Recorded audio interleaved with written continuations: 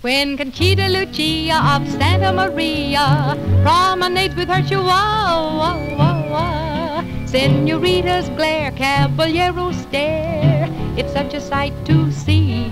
Conchita is sweet and as slick as a cheetah, and when she walks with her chihuahua, it's a rhythmic treat that is hard to beat. From Mexicali to Kintaha, every afternoon at three you'll see her go for her daily stroll around the Zocalo. When the natives hear her little barking pup, they know that their siesta's over and it's time to get up to see Conchita Lucia of Santa Maria promenade with her chihuahua as she passes by Caballero's side.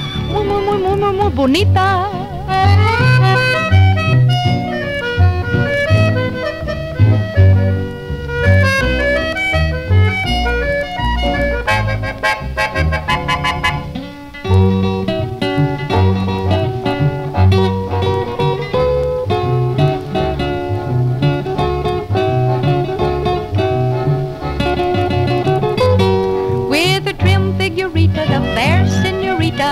Walks along with her chihuahua. But it's not her dog that has eyes agog. There's so much more to see. This one woman fiesta has most of the best. uh, And when she strolls and rolls her eyes, all the boys agree it's a guarantee. This chicken cheetah takes the prize at the bullfight every Sunday afternoon. Mariachis sing and play their favorite tune.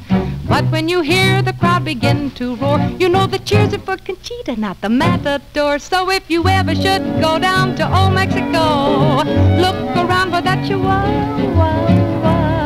With that precious pet, there's a lush brunette, Conchita of Santa Maria. Conchita of Santa Maria.